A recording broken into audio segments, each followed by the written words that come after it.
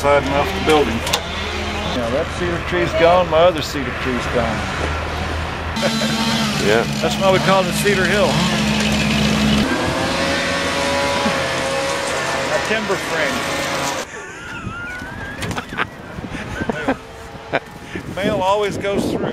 Sysco sent their bill, but they had to have a chainsaw and a four-wheel drive to deliver it.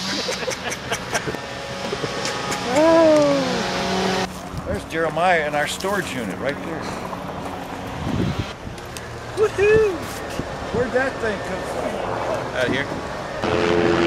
That's sheriff's.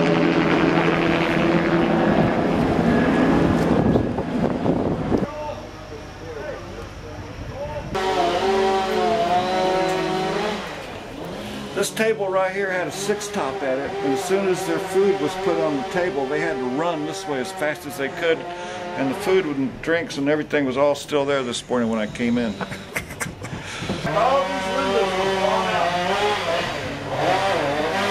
here was covered in water and glass. you got a microwave in your car? Tornado damage.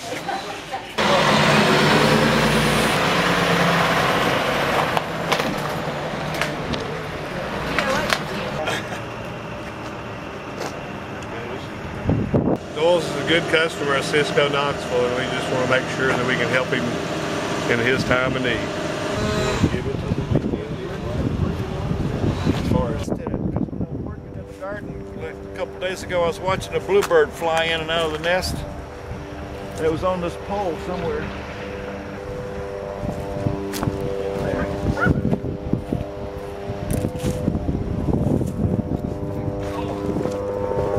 Oh, there it is, the poor thing.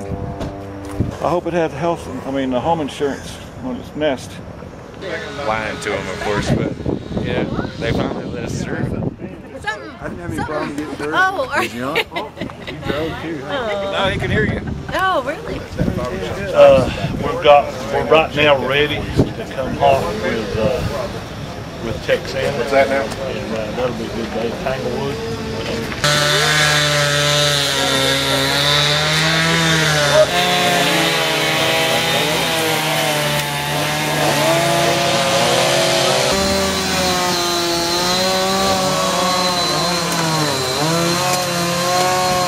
Come on over. We'll, we'll be open tomorrow.